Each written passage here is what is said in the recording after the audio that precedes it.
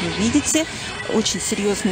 Знаете, по результатам этих соревнований видно было, что летний э, вот такой небольшую маленькую паузу без соревнований гимнастки э, очень многие группы провели с такой э, ну, серьезная работа и усложнили упражнения и повысили стабильность. Я вижу, что и потерь предмета стало меньше в общей сложности, и э, трудность увеличилась, динамика увеличилась, то есть все над этим поработали.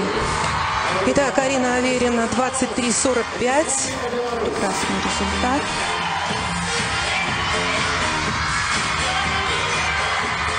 Ну, оценка по трудности, если вы видели, что называется, разблюдовка, сейчас она складывается из трудности тела и трудности И трудности предмета. предмета, да. Так же, как и оценка за исполнение, судится тоже двумя подгруппами. Есть артистическая ценность, два, две судьи оценивают, четыре судьи э, уже ошибки исполнения оценивают. Анастасия Салас, Белоруссия.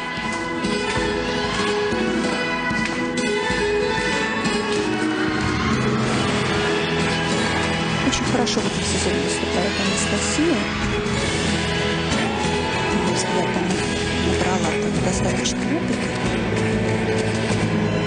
Старта к старту. Что все шансы есть. Я напомню, что основной целью чемпионата помимо того, того, что участвовать и завоевать какие-то, э, естественно, хочется ведущим гимнастам награды, э, еще отбор на Олимпийские игры. 16 гимнасток по результатам финала многоборья чемпионата мира уже получат лицензии э, на Олимпиаду в Токио. Ну, а добавляться будут лицензии по результатам Кубков мира, которые будут э, весной проводиться следующего года. Еще три лицензии, да, четыре этапа Кубка мира, и по результатам этих четырех этапов три э, лицензии будут даваться дополнительно, а также пять лицензий получат по одному континенту э, по результатам континентальных чемпионатов каждого континента.